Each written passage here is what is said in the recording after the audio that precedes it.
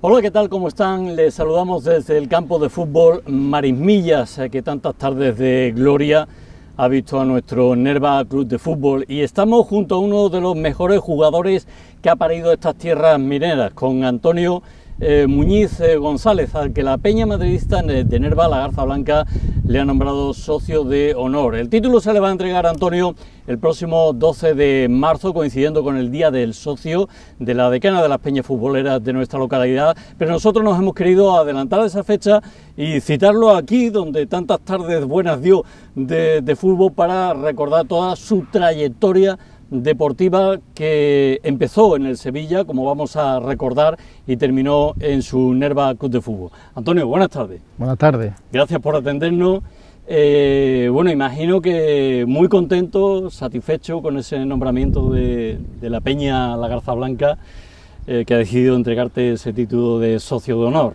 Pues claro, estoy muy agradecido de que se hayan acordado de mí Precisamente dentro de poco cumplo año, pues mejor regalo que ese, ninguno. Bueno, y la satisfacción ha sido generalizada entre la gente que te conoce, Antonio.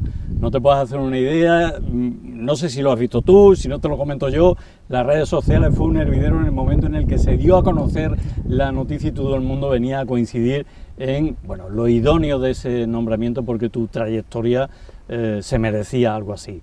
La verdad es que, sí, que me llamaron muchísima gente, mm, tanto de la familia como fuera de la familia, y me dieron la enhorabuena por, esa distinción que me iban a hacer. Bueno, miren, a diferencia de, lo que ocurría tiempo atrás, en la que un futbolista empezaba pues en su pueblo y después iba creciendo y se iba a la ciudad, y iba a los equipos grandes. La trayectoria de Antonio casi que fue a la inversa, ¿no? porque eh, siendo juvenil eh, ya aterriza en el, Sevilla.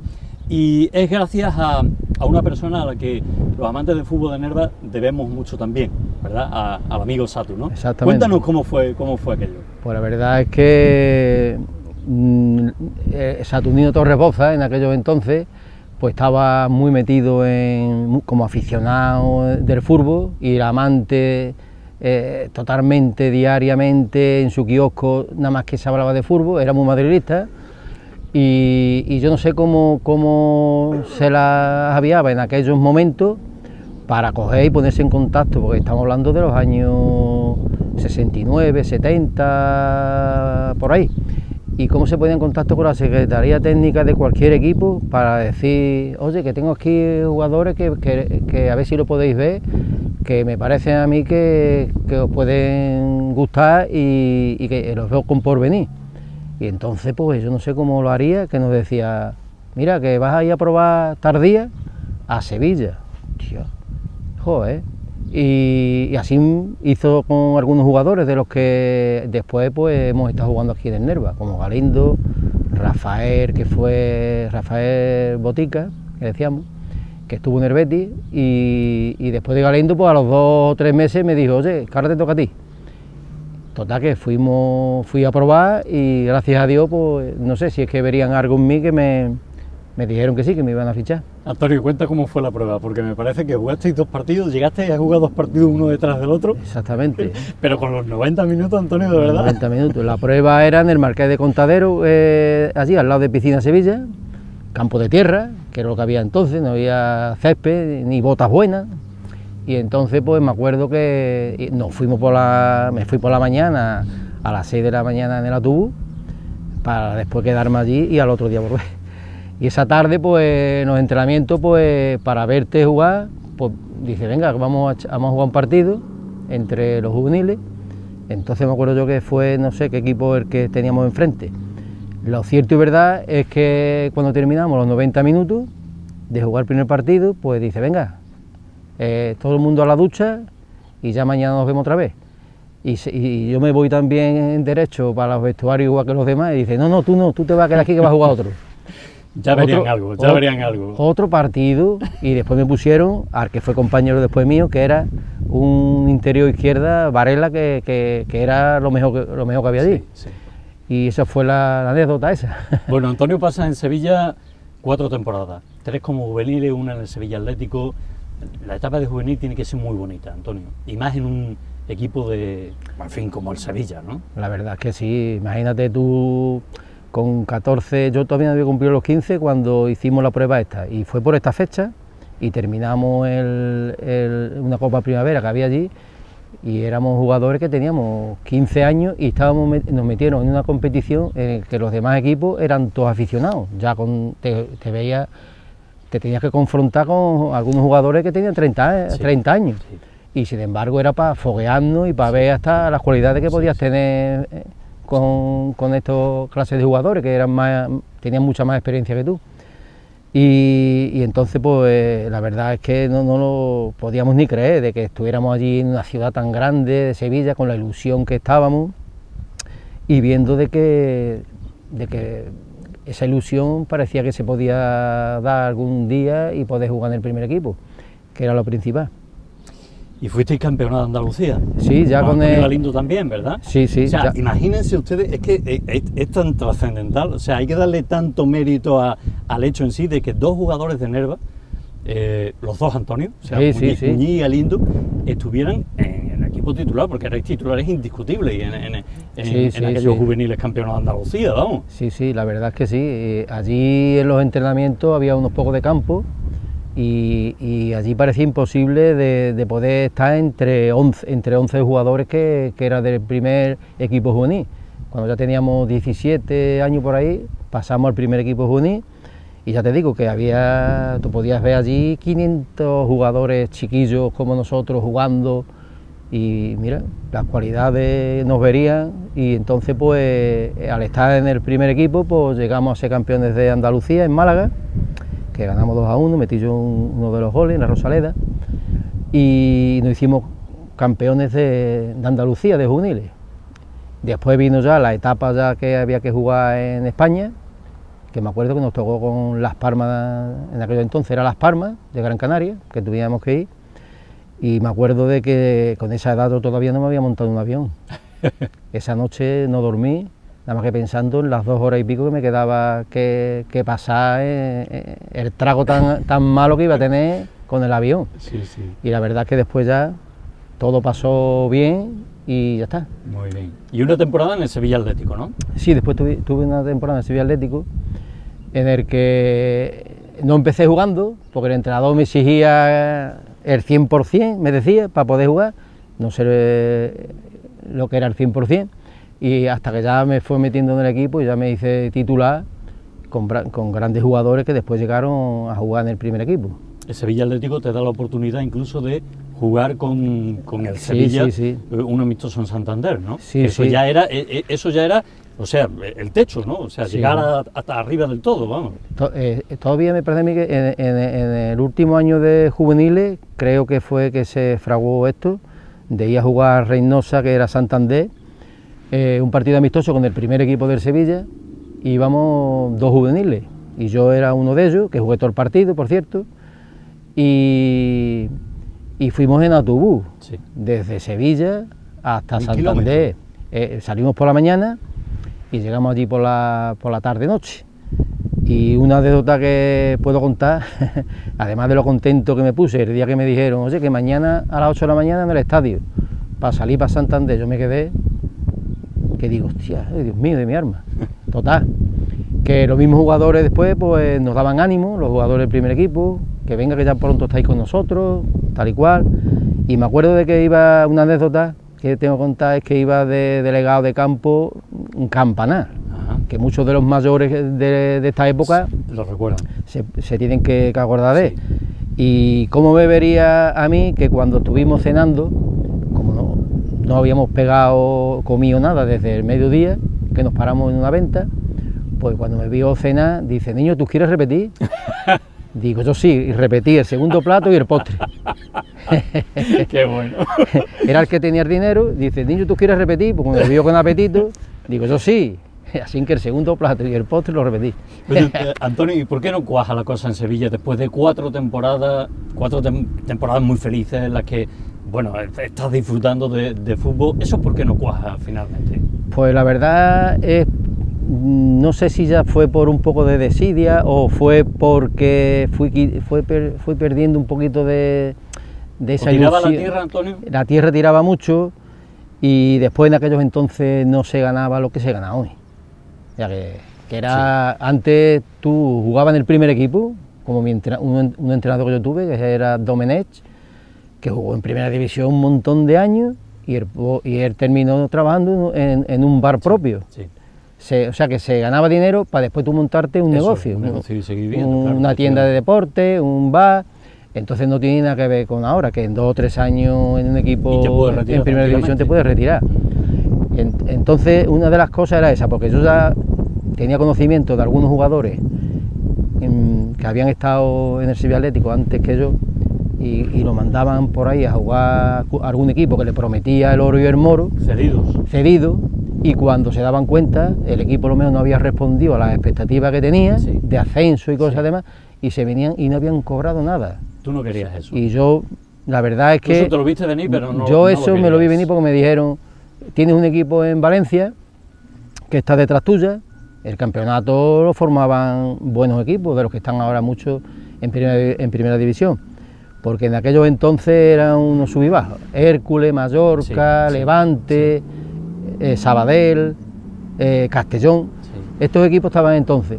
¿Y qué pasa? De que fuimos tres jugadores del Sevilla Atlético porque el equipo este quería ascender, pero lo que no quedó claro una vez que llegamos allí era que ellos querían el traspaso y el Sevilla decía que de traspaso nada, que era cedido.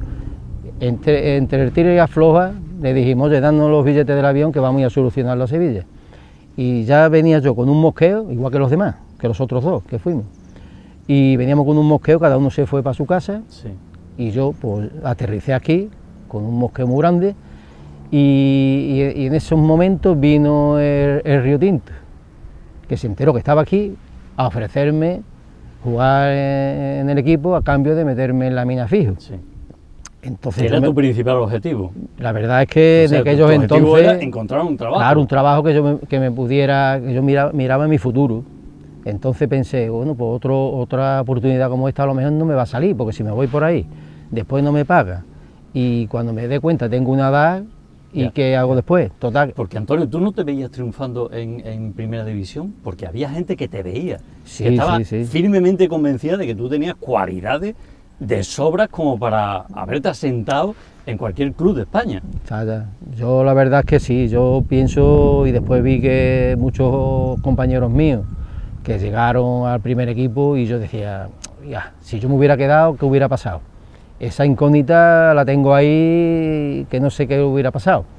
Yo me veo con cualidades, la verdad, porque he jugado muchas veces partidos de entrenamiento con el primer equipo y la verdad es que muchas veces me, me daban la palmadita en la espalda como diciendo, yo, vas estupendamente, ¿eh? ¿eh? Pero vamos, las circunstancias fueron esas y después pues, sin embargo, pues como no había hecho la mili, la empresa dijo que no me podía colocar fijo.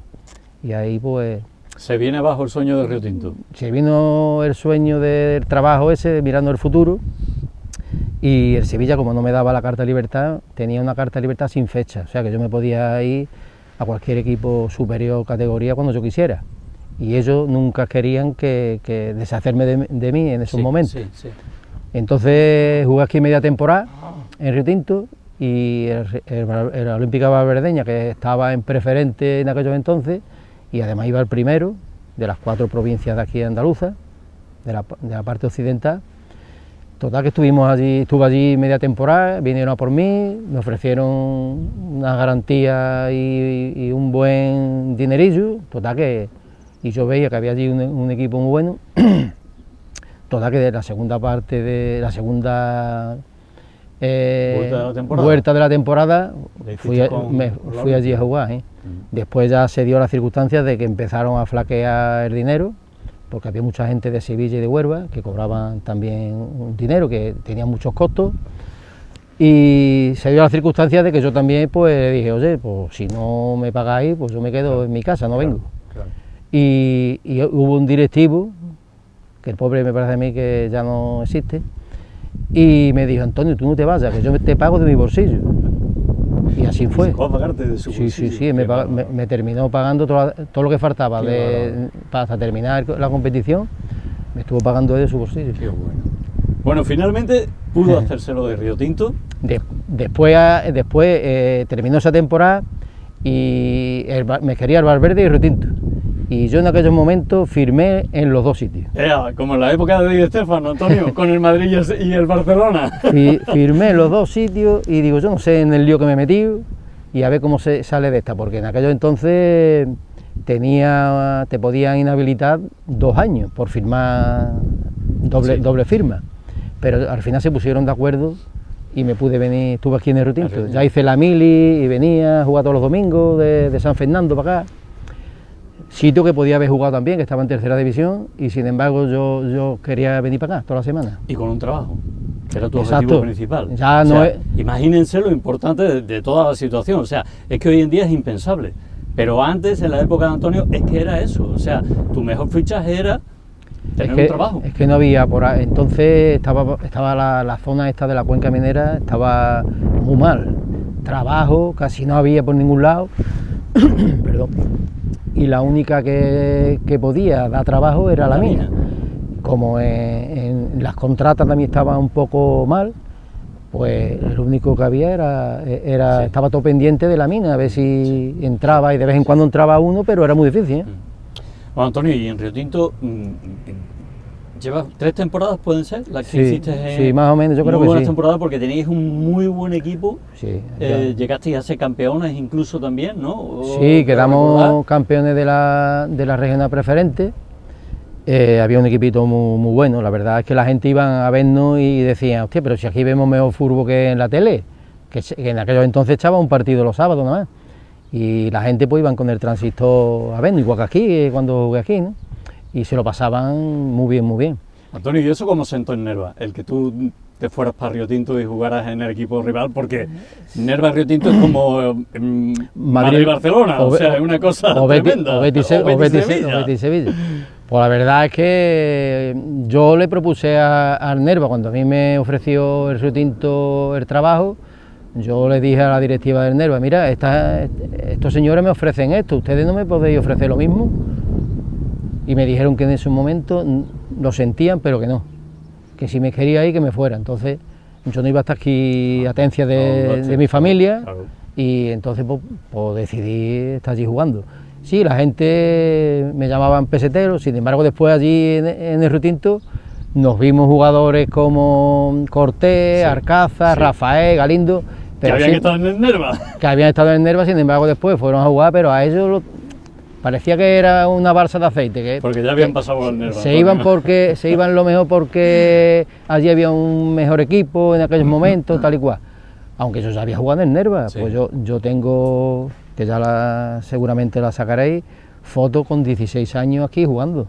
Cuando estabas también con el Sevilla, compartía, compartía y... Jugábamos en el Sevilla juvenil y nos, venía, aquí nos, veníamos aquí lo mejor con un bocadillo, allí jugábamos a las 12 del día nos estaba esperando un taxi que nos ponía en nerva y a, las 4 de la tarde estábamos aquí jugando dos partidos en el mismo día.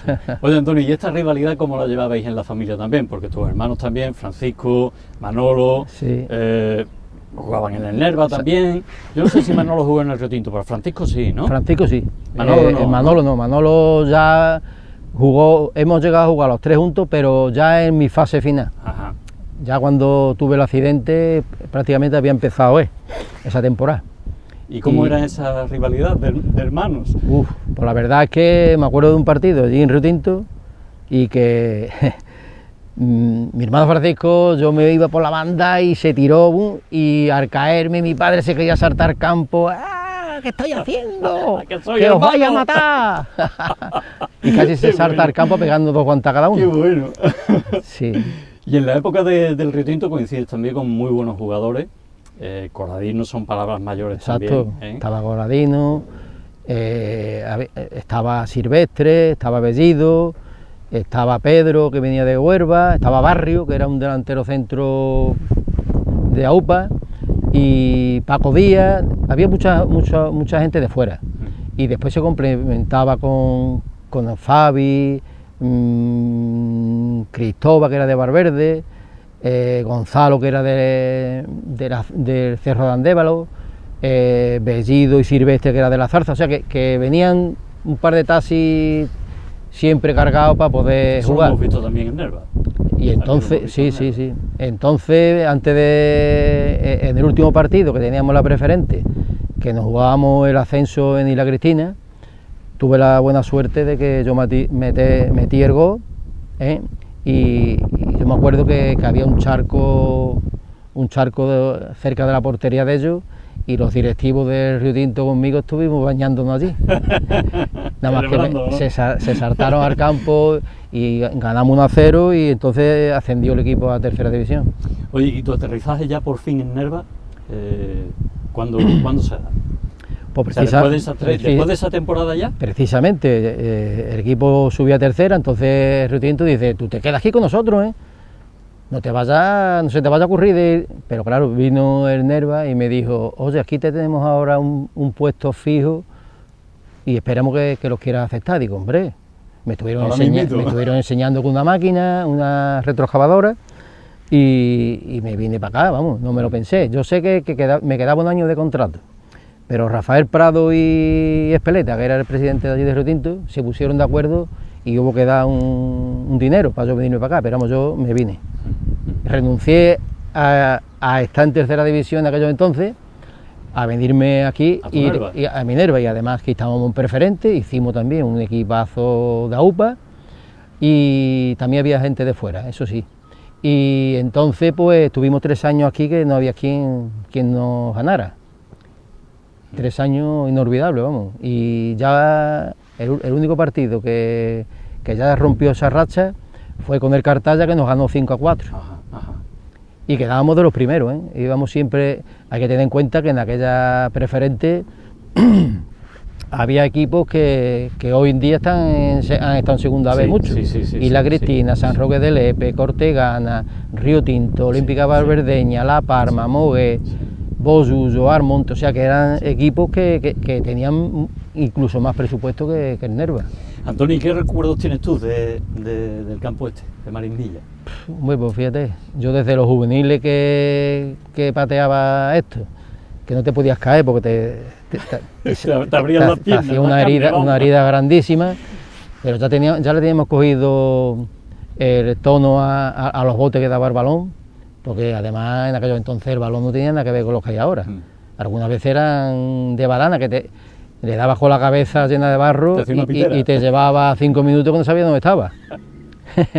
Pero vamos, y, y eso de que mm, recuerdo muchísimas, mu- muchísimas veces por todas las carreras que hemos dado aquí, los kilómetros que hemos hecho, goles que una temporada fui yo el máximo goleador, jugando de interior, Pues metí cin- 19 goles, me- recuerdo.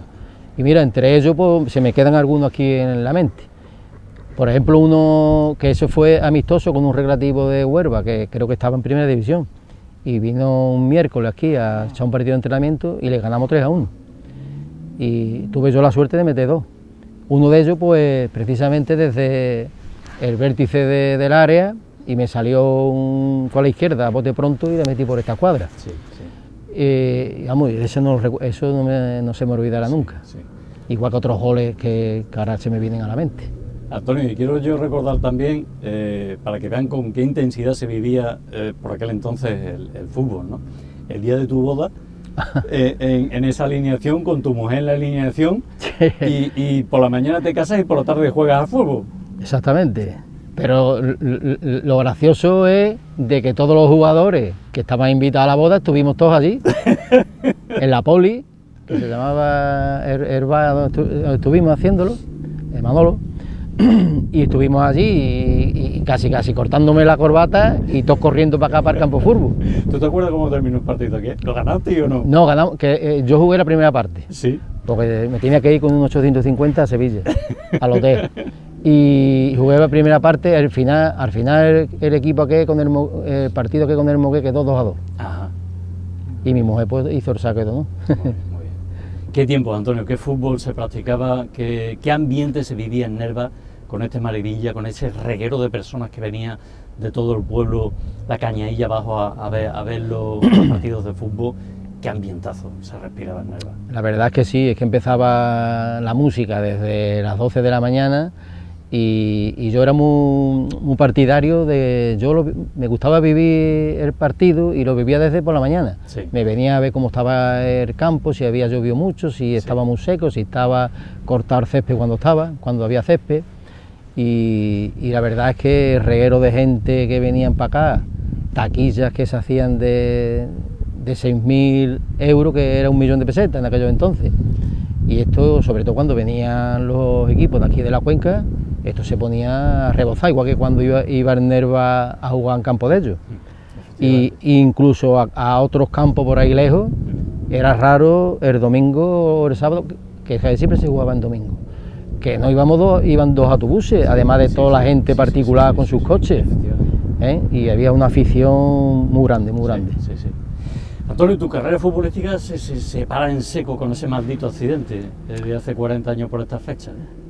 tuve la mala suerte de que un día 2 o 4 de, febrero, que ahora va a cumplir creo que 43 años, y, y tuve una mala jornada y tuve un accidente que pudo, pudo ser peor, vamos.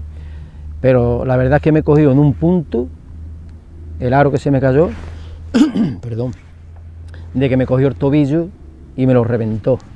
Entonces yo no quería pensar en tener que dejar fútbol, pero al final me tuve que ir haciendo a la idea porque me hicieron unas botas especiales en Barverde, pero que va, con un, con un, arza que tenía en la parte de atrás, porque eh, yo la movilidad del pie derecho la perdí y, así, y la tengo perdida, ¿no? Entonces, pero que va, era cojeando, era con un dolor insoportable y al final pues era el que el querer y no poder y, al final pues me tuve que ver obligado a, dejarlo. Lo, intenté, sí. Y la verdad es que la gente me animaba mucho.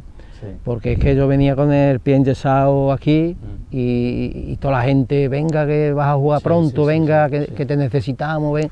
y la verdad que, eso te, te, te llena de satisfacción.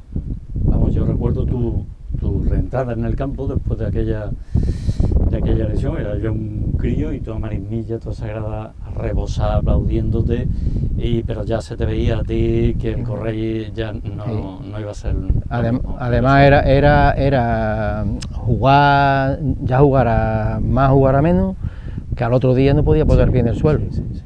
Era imposible del dolor que, que, sentía. Y tenías 26 años, Antonio, o sea que te quedaba fútbol para... Sí, pues fue precisamente un mes como este, de febrero, y en marzo cumplo los años. Cumplió los 26.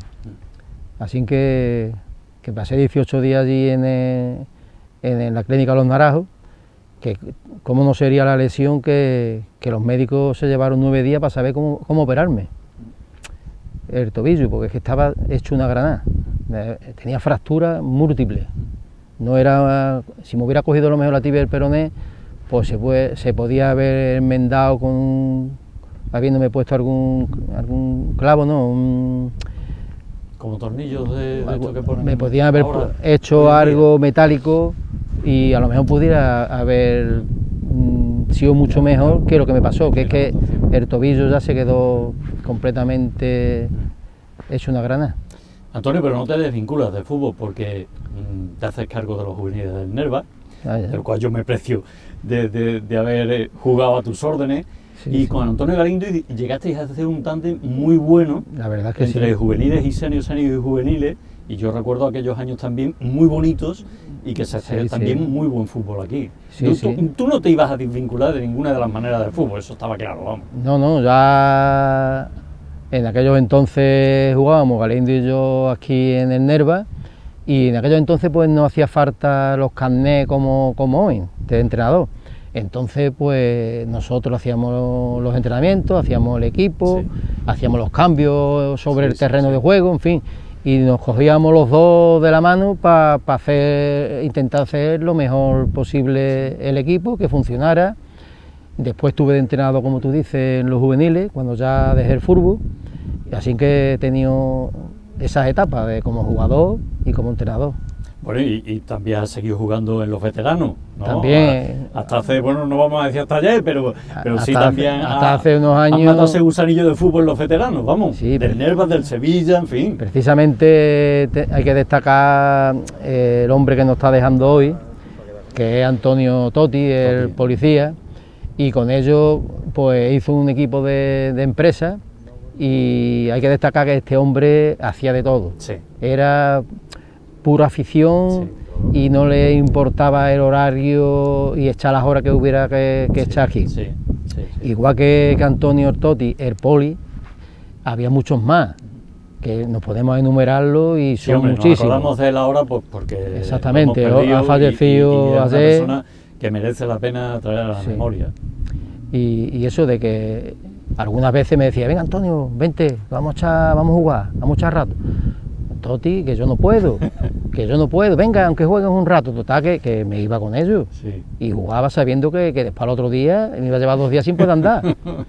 y después con los veteranos del Sevilla también hemos tenido alguna experiencia, Antonio y yo, nos llamaban también de vez en cuando y, mira, y también me pasaba lo mismo, o sea, que salía a jugar, pero ahí lo que se veía era una persona coja, jugando. Yo no sé qué es lo que pensarían los, jugadores, diría, este que lo mejor se ha doblado el tobillo ahora. Sí. Pero lo que tenía era... Quien conocía tu trayectoria ya no había, no había que dar de explicaciones, vamos. Entonces, pues ya llegó un momento en que ya dijimos, bueno, pues ya con la edad que tenemos ya hay que, esto hay que cortarlo. Antonio, un hombre como tú que ha pasado, o sea, que ha tenido esta trayectoria que estamos recordando hoy, ¿cómo ve el fútbol de antes y el de ahora? ¿Hay muchas diferencias? ¿Tú cómo, cómo lo ves? Pues la verdad es que veo mucha diferencia ahora mismo desde juveniles ya te están observando ojeadores por todos lados y te proponen, oye mira, nada más que te vea un poco de cualidades, lo mismo te, está hablando uno de Villarreal, que te está hablando uno de Barcelona y tú estás aquí dices, hostia, ¿cómo es posible que esta gente se hayan dado cuenta de que este futbolista mm, merece la pena de seguirlo? Y sin embargo hoy en día ya te digo que, siendo juvenil ya te están ofreciendo el oro y el moro. Y a los padres si hace falta darle un trabajo para llevarte y se lo dan. Sí que tener la cabeza muy bien amueblada, ¿eh? para que no se te pierda... Exactamente, entonces hoy, hoy es muy diferente a como era antes. Antes nada más que era, con un balón jugábamos 40 y no había más cosas donde elegir. Ahora pues los niños pues tienen para elegir de todo, están, de, todo. de todo. Entonces, lo que antes era el 100% del juego diario, ahora prácticamente tú no ves ningún chiquillo jugándolo en las calles y en los barrios, tanto con el ordenador, con el patinete, con, con el móvil, entonces muy diferente. Bueno, hay escuelas deportivas que están haciendo también una labor muy importante eh, ahora, pero desde luego, claro, la oferta de ocio es tan amplia que, se diluye en el camino también. Exactamente, además hoy, hoy en día tenemos partido a todas horas en, la, televisión, pero a todas horas, y lunes, martes, llegar bien, empieza otra vez, es todos los días. Entonces no era como antes que, había un partido televisado los sábados, ¿eh? y me acuerdo yo que poníamos el vídeo, cuando em, empezaba a poder coger eh, los reportajes, porque eran a las 12 de la noche y era lo único que había. Después la gente se venía al fútbol a pasárselo bien y con el transistor escuchando los partidos. Bueno, ¿y a tu Sevilla y a tu Madrid cómo los ves pues, esta temporada? Pues mira, al Sevilla precisamente lo estuve viendo el otro día también con el Mallorca. Parece que está resucitando un poco. Sí. Después de que los últimos fichajes esta temporada no no estuvieran acorde con, con, la, con la finalidad que se, que se ficharon, pero vamos, últimamente parece que está, se está por lo menos quitando de, la, parte de abajo que, era, que, es lo malo, parece que está resucitando un poco. Después por parte del Madrid, mira, ahora ha ganado la, la Copa esta del mundo, ¿eh? con varios jugadores que le faltaban. Tampoco tenía un rival de, media tabla de, la liga para abajo, de gran categoría, como aquí hay en Europa. Pero de todas formas, mira, mm, aunque le lleva ahora mismo bastantes puntos el Barcelona, yo he visto otras temporadas en que ha estado la situación al revés y como falle tres partidos seguidos, el, Barcelona está. El Barcelona está que está teniendo mucha suerte también y gana por la mínima y gana por la mínima y gana por la mínima. Mm. Y muchos partidos por la mínima, yo no lo sé. ¿Tú, tú, tú ves al Madrid capaz de revertir la situación? Yo creo que sí, que en el momento que lo que pasa es que tiene que fallar el Barcelona y hasta ahora no falla. Y es que se ve que no falla. Ese es el problema. Sí, sí, sí. bueno, vamos, vamos a ver cómo termina la temporada. Vamos a ver, yo creo que todavía quedan bastantes puntos y en el momento que tiene que venir Barcelona también a Madrid. Entonces, si la cosa se, se enmienda un poquito, que, eh, que haya, no haya tanta diferencia de puntos, todavía queda partido. Y si no, siempre queda la Copa Europa, Antonio. Eso también. que, más de una temporada nos ha salvado precisamente solo eso, la Copa Europa, pero bueno, ahí está. Bueno, Antonio, nos vamos a ir despidiendo. Eh, no sé si lo hemos dicho, sí, el día 12 de, marzo, efectivamente, en la Peña Madridista de Nerva, la Garza Blanca, es donde se va a entregar el título de socio de honor a Antonio Muñiz. Eh, están ustedes todos invitados, los socios madridistas ya saben que es su casa, pero cualquier persona que haya conocido a Antonio, ni que decir tiene también que esas eh, puertas de, la peña, de la decana de la fútbol, de las futboleras de, Nerva, están abiertas para que ese día acompañemos todos a, Antonio Muñiz en, en, la Garza Blanca y estemos junto a él en ese homenaje que se le va a tributar. Ha sido todo un placer tenerte aquí, Antonio. Pues nada, muchas gracias a ustedes y que nada, que estoy muy contento de que esto se haya podido ofrecer a, la gente y que sepa un poquito más de, mi historia, porque la mi historia es larga, es larga. Bueno, yo no sé, las generaciones que están viniendo ahora, pues se tienen que documentar, está también el boca a boca, hay, hay libros como el que escribió José Luis Lozano, de, de Nerva 100 años tras un balón, en la que también Antonio eh, sale en una de, de sus páginas de, honor. Pero bueno, para aquellos jóvenes que no sepan de quién se tratan, que, que, sepan que hoy hemos estado ante uno de los mejores jugadores que ha visto parir esta tierra y desarrollar un fútbol de categoría en este campo de Marismilla. Lo dicho, ha sido un placer y que disfrute ese día del socio con, tu título de socio, Antonio. Muchas pues Muchas gracias y, lo que más me, me atrae ahora mismo es que estamos en un campo en el que tanto hemos disfrutado. Anda que no. Venga, Antonio, gracias.